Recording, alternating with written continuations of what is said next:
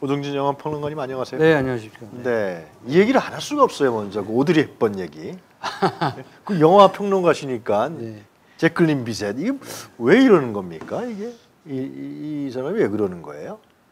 그 유명한 영화 이게 배우들을 어쨌든 팩트 체크는 좀 해봐야 될 것 같고 네. 정말 그 사진들을 모사해서 그렇게 아. 연출해서 찍는 것인지 어, 본인이 그러는 것인지 아니면 어, 사진 촬영을 하는 음, 어, 사진 기사가 그렇게 하는 것인지는 좀 fact check를 해봐야 되겠고요. 네. 어쨌든 우연한 일인지 모르겠습니다만 사진이 항상 똑같죠. 글쎄 네. 말이에요. 오드- 오드리 헵번이 아프리카에서 아, 기아 봉사 활동하는 사진하고 이번에 캄보디아 프놈펜 그렇죠. 그 아이를 안고 있는 사진이 우연한 일치고는 너무 똑같죠. 네, 그래서 이제 조금 좀 면밀한 팩트 체크를 좀 해봐야 될 것 같습니다. 대통령실에 있는 여러 기능들이 좀 이상하게 오작동하는 건 분명한 것 같아요. 이건 대통령실에서 공식적으로 한 것 같지가 않아요. 아, 그 저 그뭐 이때문요? 저 팬클럽 같은 데 모르겠어요. 하여튼 뭐 비공개로 비공개라고 하면서 그걸 공식화 시켜서 만약에 공개했다. 저게 의도된 그런 자, 사진이라면 진짜 바보 같은 짓이죠.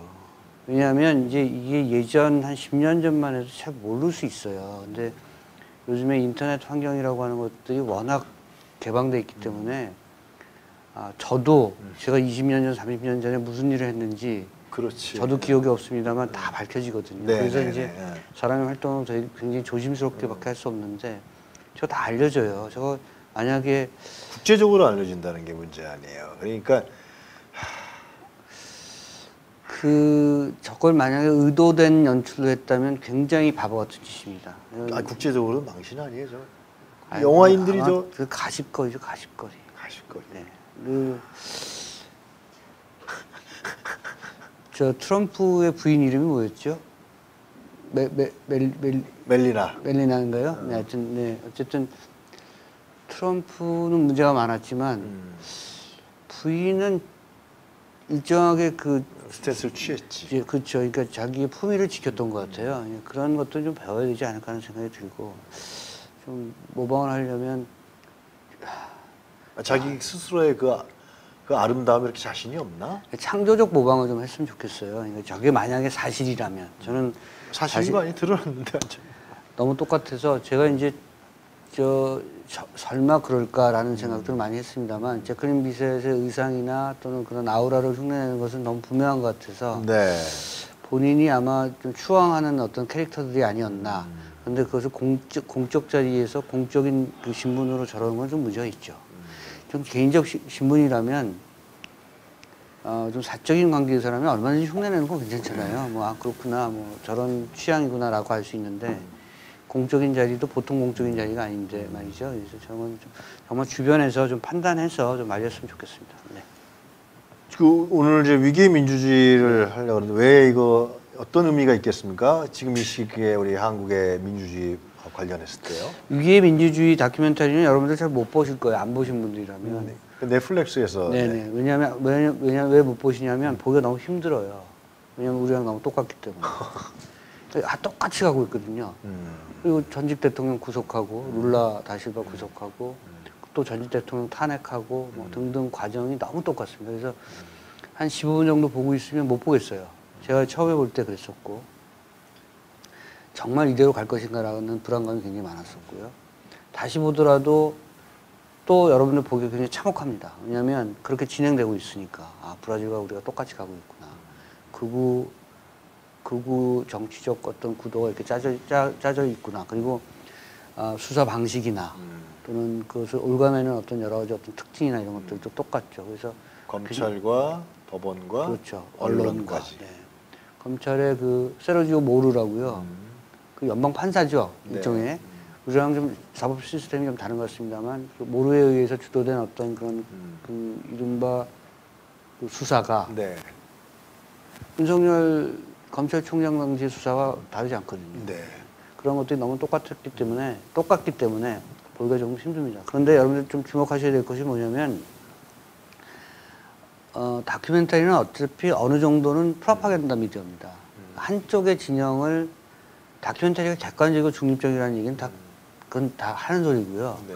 다큐멘터리야말로 편향적이고 어떠한 자기 정치적 이데올로기를 지향하는 그런 그런 작품들이죠. 그게 분명하잖아요. 네. 그래서 위기의 민주주의를 보시는 것도 좋습니다만 네. 보셔야 됩니다만 아, 균형을 맞추는 의미에서 음. 부패의 메커니즘이라는 그 드라마가 있어요. 시즌 아. 시즌 two 시즌 두 개짜리 음, 네. 팔 8부작 두 개짜리 그 드라마가 있는데 네, 네. 그것도 넷플릭스에 넷플릭스 있습니다. 이것도 브라질의 정치 상황을 얘기한 거고요. 음. 드라마입니다. 다큐멘터리가 아니고.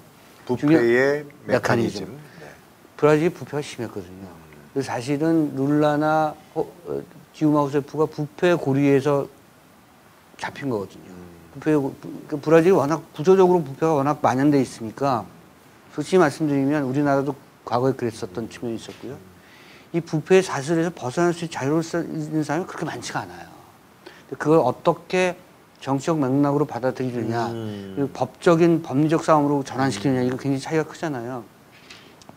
사실 지금 한국 정치도 정치적으로 해결돼야 되는 문제는 모두 사법적 처리로 가는 과정에 있기 때문에 문제가 발생하는 거고 부패의 메커니즘이 2018년에 나왔습니다. 네. 위기의 민주주의가 2019년에 나온 거예요. 아. 이걸 잘 보셔야 되는 게 2019년에 보소나루가 대통령이 됐거든요. 네.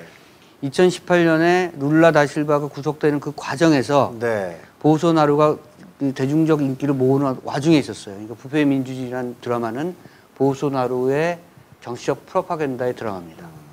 보소나루 쪽이죠. 근데 2019년에 어, 보소나루가 대통령이 됐을 때 브라질의 일반 지식인 계층에서 큰 문제를 문제점을 생각했고요. 큰 위기 의식을 느꼈고 그래서 나온 것이 위기의 민주주의라는 다큐멘터리죠. 그러니까 이 위기의 민주주의는 룰라 다실바 쪽 정당의 프로파간다에 치명이 강합니다. 그래서 여러분들이 다큐멘터리나 드라마나 이런 것들 보실 때, 아, 물론 지향점을 갖고 보시는 것도 굉장히 중요합니다만, 그래도 팩트의 어떤 균형을 위해서 이런 것들 두 개를 다 같이 보시는 것도 도움이 되십니다. 볼 수가 없다 그러셨는데 위기민주주의 다큐를 아, 제가 말씀드린 볼 수가 없다는 것은 이제 심정적으로 어떤 면에서 구체적으로 좀 짚어주시죠. 한국상 어떤 상황과 유사하다고 보시는 거예요? 어, 세르지오 모루 판사가 그 다, 룰라의 그 부패 고리를 물고 나- 들어가는 게 똑같아요. 구체적 증거가 없습니다. 지금도 이재명에 대해서 구체적 뭐 그런 거죠. 구체적 증거가 없죠. 그리고 사실은 그 뭐야 그 수사 방식이 굉장히 불법적이었고요. 그리고 마치 지금의 한국 검찰이 언론에게 기사 주듯이 음. 받아쓰기 하게 하듯이 그렇게 연출된 수사를 했죠. 그리고 그래서 언론에서 받았을 거기. 그렇죠. 그리고 사실은 그 미디어를 굉장히 굉장히 적절하게 활용한, 음. 굉장히 잘 활용한 그- 그 검사 판사 중에 한 명인데, 아, 어, 이 사람이 실질적인 구체적 정황이 있는지 없는지 모르겠으나 네. 기사나 또는 보도가 나가면 그 대중들은 민주들은 그렇게 생각하거든요. 그러니까 가장 중요한 건 뭐냐면 사건을 복잡하게 만드는 거예요. 복잡하게 만들면 대중들이 다 따라가지 못합니다. 이게 무슨 얘기인지 몰라요. 다만 선, 선이냐 악이냐, 돈을 먹었니 안 먹었니 이런 얘기, 이런 이런 본질적이지 않은 현상만 가지고 판단하게끔 만드는 거거든요. 대중들은 사실은 시간이 없어요. 먹고 사느라고. 그래서 사안을 굉장히 복잡하게 만들면 네. 그냥 이 사람은 사람들이 생- 시장에서 사람들이 저작거리에서 밥을 먹거나 포장마차에서 술을 마실 때 뭐 어떻게 했어? 돈 먹었대. 이렇게 얘기하는 거거든요. 근데 사실 그 구체적 정황 하나도 없어요. 사건을 복잡하게 만드는 거죠. 음. 그런 것이 브라질 정치 스캔들의 대표적인 어떤 모델링화 된 것입니다. 그것이 네. 한국하고 똑같아요. 음. 도대체 지금 이재명 민주당 대표에 대한 그 성남 음. 축구 음. 네. FC 성남 어, FC 저- 거- 거기에 그 어떻게 뭐 자금이 어떻게 됐다는 건지 그게 북한 뭐 어떤 그 접촉 라인과 어떻게 연결됐다는 건지 뭐 아태엽까지 나오고 네, 지금. 뭐. 너무 복잡하잖아요. 거기까지 안 보거든요. 많은 그렇지. 사람들이 언론에 그렇게 나오면 음. 뭔가 있겠구나. 뭐 있구나. 뭐가 있구나. 뭐 모를 리 없었겠지. 뭐 받아 받아 먹었겠지. 먹었겠지. 이런 거. 정치인들 다돈 네. 받아 먹잖아. 그게 선거로 연결되는 거고요. 음. 그러니까 사실상 그 군사력을 동원한 무장력을 동원한 쿠데타는 아니지만 음. 조작된 여론과 조작된 이미지로 쿠데타를 사실상 일으키는 거랑 똑같은 거죠. 그게 위기의 민주주의를 보시면 한국하고 똑같다고 느낄 수 있습니다. 근데 위기의 민주주의는 결국은 어, 룰라 다실바가 구속되는 과정을 보여주는 네. 거기 때문에 그것이 우리에게는 문재인 같은 사람, 그렇죠. 전 대통령. 같은 네, 그리고 또 이재명 같은 사람 이런 이미지로 이제 연결되니까 어, 보기가 굉장히 참혹하죠. 저- 저렇게 갈 것인가. 제가 개인적인 경험은 2018년에 상파울로에 있었어요. 네. 아. 상파울로에 한국 영화제 때문에 갔었고 그때 네. 제가 소개했던 영화제가 아마 2017년, 2018년이었던 것 같은데 곡성을 소개했었거든요. 어, 네, 네. 아, 곡성. 예. 그 저, 여러분도 아시겠습니다만 브라질이 포르투갈어를 쓰잖아요. 남미 전체는 스페인어를 씁니다. 근데 브라질만 포르투갈어를 써요. 그래서 전혀 의사소통이 안 돼요. 예. 전혀. 어. 그러니까 아무 아무 말도 못 알아듣거든요. 근데 제가 그 나홍진 감독의 곡성이라는 영화를 소개할 때 아. 브라질이 초행길이어서 상파울로가 초행길이어서 제가 늦었어요. 네. 그래서 먼저 영화를 상영하고 어, 원래는 이제 영화에 대한 얘기를 해주려고 어, introduction을 좀 해줘야 되잖아요. 네, 가이드 좀 네, 해주고 나서 네. 영화를 영화를 상영하려고 했었습니다만 그게 거꾸로 됐어요. 네. 영화를 상영하고 제가 올라, 무대에 올라서서 이제 영화에 대한 질문을 받는데 이게 전혀 사실은 언어도 전혀 다르고 문화가 전혀 다르잖아요.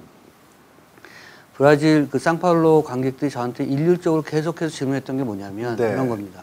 손을 들고 한국에 지금 무슨 일 있어요? 이런 거예요. 곡성을 보고 나서 곡성이랑 공포 영화를 보고 나서 한국에 무슨 일이 있습니까? 한국에 사람들이 많이 죽었습니까? 한국에서 이상한 죽음이 많습니까? 세월호 직후였거든요. 세월호 직후에 나왔던 영화였고 그래서 좀 뒤늦게 쌍팔로에서 틀었는데 영화가 그렇게 교감을 시키는 거죠. 제가 쌍팔로에 그때 있을 때 분위기가 너무 안 좋았어요. 쌍파울로 지역 사회 분위기나 브라질 사회 분위기가 그때가 이제 보우소나로로 넘어가던 때 음. 룰라 다실바가 구속되던 때였고요. 보스나로가 9년 2019년에 이제 집권했으니까. 그러니까 이- 이- 지금까지 10년 원래 이제 브라질 대통령이 4년 중임제니까 네, 글쎄 말이에요. 이번에 그 보우소나루는 어, 트럼프처럼 음. 단임하고 뺏긴 거죠. 음. 지금 사실은 룰라 다실바가 다시 집권을 했습니다만 네. 우리랑 똑같다는 게 뭐냐면 1.1.7%인가 그래요. 원래는 어, 선거 당시에 어, 선거 전에 룰라 다시바가 다시 나오면 큰 표차로 일, 이길 것이다. 워낙 보소나로가 좀 무지몽매한 짓을 많이 했기 때문에 그럼에도 불구하고 한국의 그 우파 진영이 굉장히 뭐랄까 콘크리트 지지층, 지지층이 있듯이 브라질도 만만치 않습니다. 그래서 1.7%의 박빙의 승부처로 이겼기 때문에 아직 어렵습니다. 그리고 브라질 국회가 보소나로 진영의 국회가 네. 다수예요. 음. 그러니까 쉽게 가지 못할 겁니다. 그래서 역시 그 룰라 다실바가 재집권했습니다만 위기의 민주주의라는 다큐멘터리를 음. 보면 이 부패의 구조적 고리를 어떻게 정리할 것인가 이게 굉장히 중요한 문제고 사법 그 법조와 언론과 이런 부분들을 어떻게 미디어와 이런 것들을 어떻게 잘 구조적으로 정, 정비할 것인가 굉장히 큰 문제를 낳는다는 것을 다큐멘터리 위기의 민주주의가 보여주고 있는 대목입니다. 네. 그 쉽지 않습니다. 제가 사회 분위기를 통해서 알 수 있거든요. 영화 한 편으로 알 수 있듯이 어, 곡성이라는 영화가 한국의 그 당시의 분위기, 사회 분위기를 보여줬듯이 상파울로에 제가 다니면서 아 좀 이상하다. 그리고 아, 전부 방탄차 타고 다니려고 하고요. 어, 상파울로에 깽단이 많았고 그 깽단이 상파울로에 삼성 공장이 있을 거예요. 거기 거기도 습격을 했었고 굉장히 안 좋았던 거죠. 브라질 사례를 봤을 때는 그 위기 민주주의라는 다큐로 표출된 건데 네.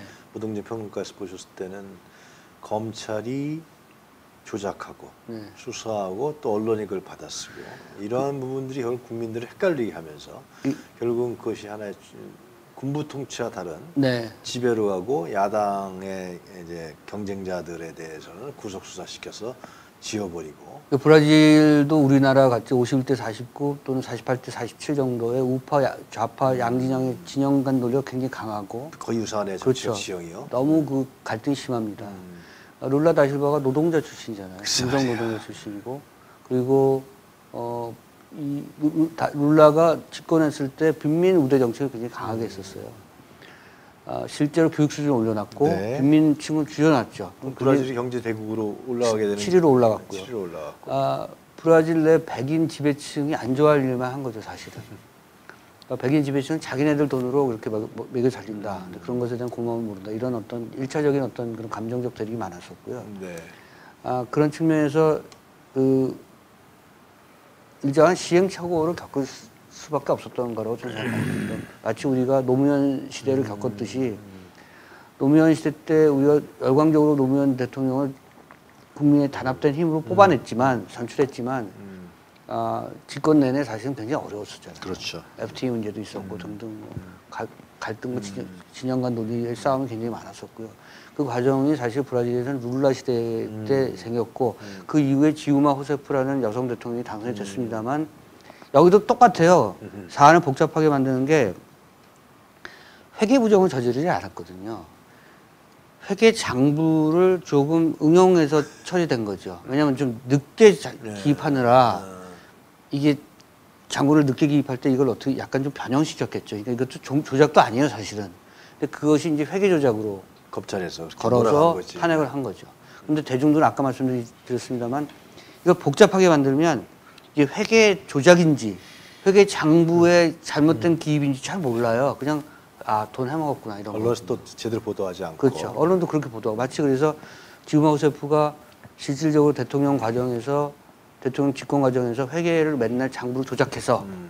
이익을 취득한 것처럼 됐죠. 그래서 탄핵을 당했습니다. 그러니까 그 과정들이 제가 몇 번 말씀드립니다만 자본주의 시스템은 복잡하게 만들면 그 회계가 됐든 무슨 경제적인 무슨 이슈가 됐든 정치적 문제가 됐든 복잡하게 만들면 잘 몰라요. 대중들을 그래서 자꾸 경각시켜야 됩니다. 자꾸 뭔가로 이걸 쉬운 말로 저 심플한 논리로 알아듣기 쉽게 대중들에게 접근할 수 있는 어떤 논리가 필요한 거죠. 복잡하게 설명하면 져요. 좌파 진영들이 항상 실패하는 이유 중에 하나가 얘기를 너무 복잡 현학적으로 얘기를 해요. 그러니까 전략적 모토와 그 슬로건과 전술을 굉장히 정확하게 구사를 해야 되는데 너무 어려워요.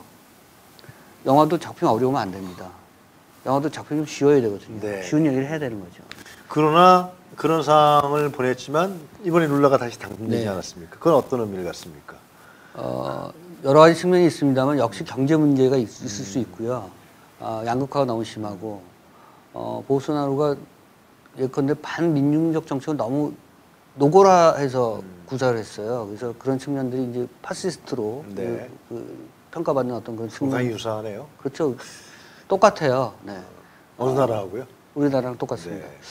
그 사실 미국도 마찬가지죠. 미국도 51대 49의 진영 논리 싸움이 굉장히 강하고 트럼프가 됐을, 됐을 때 얼마나 미국이 우스운 나라가 됐습니까? 근데 다시 바이든 됐습니다만 있다는 게 굉장히 심각한 거예요. 하여튼 그 다른 얘기입니다. 네. 이거를 어떻게든 좀 중화시킬 수 있는 어떤 측면이 있어야 되고요. 어, 어쨌든 브라질도 우리랑 똑같이 장기 독재를 20몇 년을 겪었고요. 음. 어, 우리도 마찬가지 아닙니까? 18년에서 7년 다음에 25년을 겪었어요. 어, 그런 나라는 대체적으로 구조적으로 부패 스캔들이 굉장히 강합니다. 왜냐하면 뒤에서 다 돈 먹고 돈 놓고 돈 먹게 했으니까.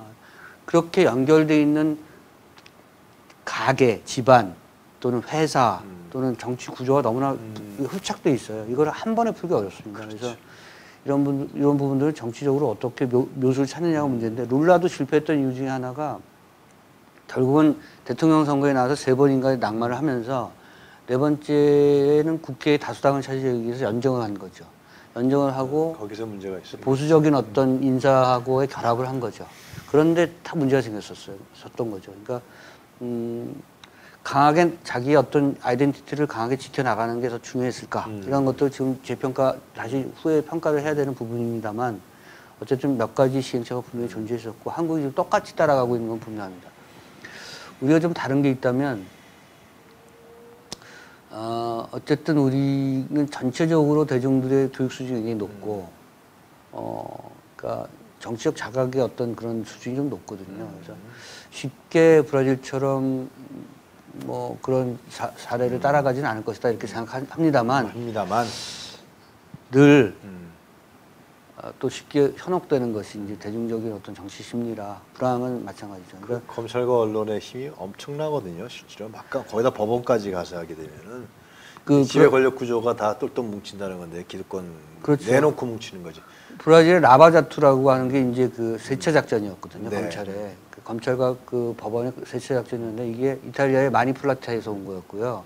이탈리아에서 마피아를 잡기 위해서 굉장히 굉장히 아주 청렴한 검사가 아, 마피아 소탕 작전을 펼쳤죠. 이 마니플라타라고 해서 굉장히 네. 유명했던 거고요. 아, 그 검사는 사실은 정치적 야심이 있었던 건 아니죠. 이 라바자투를 이끌었던 아까 말씀드렸던 세르지오 모루 같은 검사, 저 판사는 어, 정치적 야심이 조금 있었다가 보소나루 저 집권 시절에 법무장관을 했거든요. 근데 우리의 윤석열하고 좀 다른 게 아, 보수나라하고 또 대립했어요. 그래서 옷을 벗고 나갔죠. 그리고 자기가 개인 정당을 차리고 어, 국회 이번에 출마를 해서 지금 의원이 됐습니다. 약간의 어떤 경로는 다릅니다만 네. 어쨌든 이 이제 라바다투 같은 어떤 세차 작전이라는 이름의 검찰의 대, 대작전 이런 거지 네. 마치 지금 어, 윤석열 대통령과 한동훈 법무장관이 벌이는 어떤 일정한 음모적 작전과 비슷하다는 느낌을 받을 수도 있습니다. 이, 자- 이 자- 다큐멘터리가 굉장히 큰 교훈을 줄 수 있다고 생각하고요. 한국에서 이 다큐멘터리가 주목받기 시작한 게 조국 사태 때, 네. 때부터였어요. 네. 조국을 수, 수백 회? 네. 수백 회에서 사실은 압수수색을 하고 뭐 등등 하는 과정을 보면서 어, 이, 자- 이 다큐멘터리가 비슷한 행로를 가져가는구나라는 생각 때문에 저, 저는 무슨 생각했냐면 검찰 라인에서 이걸 본 것 같아요 오히려 역으로 본 것 같아요. 따라가는 거예요? 네, 따라가는 걸로. 아, 이렇게 벤치마킹하는 거야, 우- 이제. 우리 저, 저 같은 사람은 아 이렇게 되- 저렇게 되면 큰일 나겠구나라고 생각하지만 하지만 걔네들은 저쪽 애들은 아, 이렇게 이렇게, 하면 되겠구나라는 되겠구나. 생각. 마치 양쪽이 다 뭔가 어떤 그 가이드를 준것 그러나. 그러나 룰라가 이겼잖아요. 그건 어떻게 보면 어쨌든 룰라가 고통을 겪었잖아요. 아니 그, 그러나 하여튼간에 이겼잖아요. 네. 다시 이겼잖아요. 대중들의 평가는 결국 이후에는 정당하게 음. 이루어진다라고 생각하고 역사적 정당성으로 평가를 받는다고 생각합니다만 그 과정이 너무 고통스러우니까 굳이 그 과정을 겪을 필요가 없잖아요. 그러니까 음. 그러면 좋은데 여러분들이 음. 그 과정을 굳이 겪을 필요가 없다고 생각하고 지금 다시 광장에 나가서 또 지금 겨울인데 또 고생하실 거 아닙니까? 이제 그런 것들을 생각했을 때는 미디어, 영화 또는 여러 가지 교육적 기- 기자재를 통해서 많은 대중들과 같이 연대할 수 있는 방법을 모색하시는 것도 나쁘지 않다고 생각합니다. 그러나 그러나 이겼다는 부분에 방점을 우리는 찍어야 되지 않을까. 네. 그러한 그 기득권 동맹들 검찰 브라질은 그 처음에 보소나로에게 그걸 이렇게 휘둘렸던 것 중에 하나는 위기의 민주주의 같은 다큐멘터리가 좀 나중에 나온 거고요. 아, 어, 우리는 이미 봤잖아요. 음. 그러니까 그 브라질은 위기의 민주주의 같은 선험적 다큐멘터리가 없었던 시절이었고 아. 자기네들이 그걸 스스로 음. 개척해 나갔지만 우리는 그래도 그런 것들에 대한 다큐멘터리를 미리 볼 수가 있고 네. 생각을 좀 더 깊이 할 수 있기 때문에 네. 어, 좀 도움은 되겠죠. 이길 수 있다고 생각합니다. 근데 그 어, 한국의 역사가 현대사가 무지하게 어려운 과정을 거쳐왔고 어, 항상 이, 일보 전진 이보 후퇴의 과정을 겪는 건데 어, 짧은 강한 반동의 기간을 거치고 있다고 생각합니다. 그래서 그 부분을 잘 버티시면서 올바른 정치적, 경제적, 사회적 방향으로 나아가야 된다고 생각하고 제가 항상 말씀드립니다만 정치가 저 같은 영화 평론가가 이렇게 떠들면 안 되잖아요. 왜요? 영화 평론가는 영화 얘기해야지. 정치 영화 하면 되는 거 아니에요? 아, 그래도 저 정, 정치는 정치 평론가들이 말씀하셔야 되는데 영화 평론가가 얘기할 만큼 자기가 혼란스러워서 안 된다 이렇게 말씀드리고 싶습니다. 영화 평론가는 영화 얘기해야죠. 저로 하여금 영화 얘기하게 도와주시기 바랍니다. 네. 자꾸 이런 영화를 찾게 만들고 보게 만들고 저 하는 사회가 좀 정보에 입각하면 뭘 만들고 계시다고 그러는데. 다큐멘터리 힘을 알기 때문에 저희도 다큐멘터리 만들어야죠. 아, 기대하겠습니다. 항상 말씀드렸지만 다큐멘터리는 어, 자신의 이데올로기나 자신의 정치 방향에 대한 프로파간다입니다. 와, 어느 쪽에서든 만들 수 있다고 생각하고요. 다만 그 다큐멘터리가 어느 쪽을 치우쳤느냐 치우치지 않았느냐라는 걸 자꾸 얘기하지 마시고요. 치우치더라도 공정 한가 이런 것들 생각하시면 좋을 것 같습니다.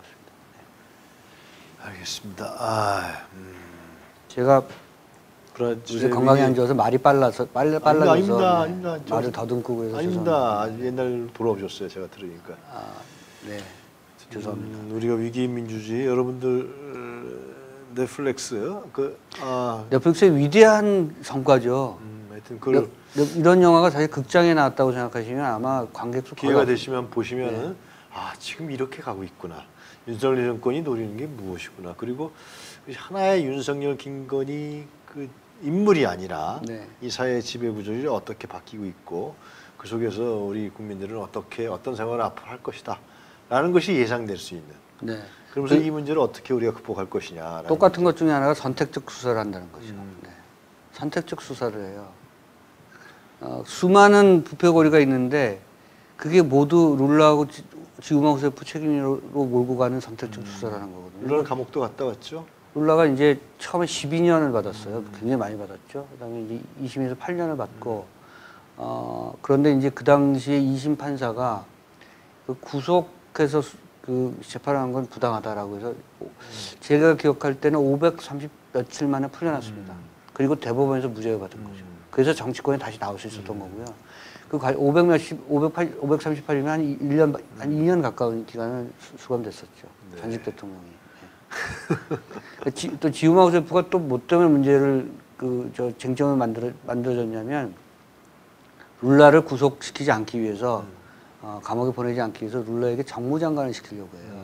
왜냐면 강요에 대한 면책 특권이 있기 때문에. 근데 그걸 불법 도청을 해서 지우마 후세프하고 룰라 다실바가 서로 통화한 내용을 대중단에 공개했는데 그걸 다- 그 다큐멘터리 보시면 그 내용을 보시면 그게 꼭 그런 내용일까 이런 생각이 들어요. 그런데 그렇게 미디어로 조작해내고 홍보해낸 거죠. 네. 똑같습니다, 그게. 근데 브라질하고 대한민국은 다른 점 그것만 간단히 정리하고 넘어갈까요? 다른 점이 뭐라고 생각하세요? 아, 한국 하는 저랑 수법은 지배 권력이 하는 수법은 동일한데. 민중의 공격성이 좀 다르죠. 저희는 저희는 좀 공격적이죠. 저희가 아마 저희 그 이 대중들의 정치적인 어떤 판단 능력이나 이런 것들이 더, 더 우리는 뭐 네. 4.19 혁명이라든가 또 선험적 교육이 굉장히 많거든요. 그렇죠. 네. 또 네. 부산 음? 그렇죠. 부산 부마 항쟁이라든가 네. 5월 광주 민주화운동, 60, 87년 6월 60 항쟁, 항쟁. 예, 네. 그다음에 촛불 항쟁. 이걸 통해서 우리 권력을 아니죠. 죄송합니다. 우리 민주주의를 우리가 만들어 왔고 그 경험을 다 갖고 있는 거죠. 부당한 권력을 쫓아내고 우리 민주주의를 만들어 왔다. 네. 만들 수 있다. 그리고 만들어 냈다. 이런 점들은 우리 국민들에게 소중한 경험이 아닐까 싶습니다. 제가 늘 말씀드리지만 지성의 비관주의로 사시되 음. 의지의 낙관주의로 돌파하셔야 됩니다. 그러니까 늘 현, 현황은 보수적으로 보셔야 돼요. 늘, 음. 늘- 늘 어렵다 이렇게 보시지만 우리는 끝내 이길 수 있다는 의지의 낙관주의를 관찰, 관철시켜 주셔야 합니다. 그러니까 특히 박근혜를 선출된 권력이었던 선거를 통해서 대통령이 됐던 박근혜를 탄핵시킨 부분은 굉장히 우리 국민에게 중요한 경험인 거죠. 그렇죠. 네. 아무리 선출된 대통령이라 할지라도 부당하고 어, 국민의 삶을 파괴하는 대통령은 쫓겨날 수 있다. 아, 근데 그 시점이라든가 임계점은 이제 국민들이 판단하실 문제가 아닐까 네. 생각합니다. 어쨌든 굉장히 귀감이 되는 다큐멘터리인 만큼 네. 여러분들께서 참조하시면 좋겠습니다. 네, 알겠습니다. 자, 오늘 오늘 빨리 쾌차하셔야 되는데 말이죠. 네. 아직, 아직도 말을 많이 더듬네요. 아니 좋습니다. 아닙니다. 굉장히 많이 좋아졌습니다. 네, 네, 감사합니다. 자 오도진 평론가님 감사합니다. 고맙습니다. 자 네. 오늘 유용한 뉴스 코멘트를 어떻게 보셨습니까? 저희들 오늘 에, 박상백 뉴스 클래스에서는 우리가 처음으로 외신 문제, 워낙 국내 언론이 보도가 안 되니까 해외 언론에서 우리나라를 어떻게 바라보는지를 한번 지난주에 있던 걸 준비해서 여러분에게 오늘 처음 시도하면서 보여드렸고요. 어, 그리고 지금 김건희 씨의 이러한 뭐라 그래야 됩니까? 코스프레는 아니고 표절, 어? 그리고 따라하기. 예, 군- 그 해외에 나가서 또 이런 화제가 되는 문제에 대해서 같이 공부를 느꼈습니다. 하여튼 예, 그리고 우리 박예슬과 우리 김병상 기자가 같이 나와서 지난 주말에 있었던 우리의 민심에서 전달해 드렸고요. 또 오늘 이제 룰라 아, 얘기를 우리 오동진 평가 하셨는데 다시 한번 말씀드립니다만은 어, 브라질과 우리는 상당히 다르다. 아, 우리는 4.19 혁명 그리고 부마 항쟁 또 5월 광주 민주화 운동 6월 항쟁 촛불 혁명까지 통해서 우리의 권력을 우리가 만들어 왔고 부당한 권력을 쫓아냈고 부당한 권력자들 우리 역사 심판대에 올렸던 우리의 경험을 갖고 있고 특히 박근혜 탄핵에 대해서는 우리가 나가서 선출된 권력이라 할지라도 부당하게 국정을 농단하고 국가를 훼손하면 우리가 탄핵시켰다라는 소중한 경험을 갖고 있다. 그리고 또 브라질에서 룰라가 다시 또 당선됐다. 이런 점을 오늘 말씀드리면서 오늘 유용한 뉴스 코멘터리 정리할까 합니다. 윤석열의 친일 커넥션 광복 77년 아직도 이 땅은 진일파 후예들이 견고한 카르텔을 형성하고 부와 권력을 노리고 있습니다. 공정과 상식을 외치는 자신들의 비리를 덮는 이 모순된 세력들이 대한민국을 다시 일왕의 나라로 만들기 위해 혈안이 되어 있는 것입니다.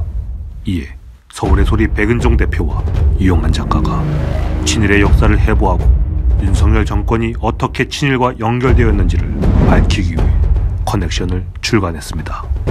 일제강점기 독립자금을 보내주는 마음으로 일독을 권합니다. 민주양심 세력에 많은 성원 부탁드립니다. 감사합니다.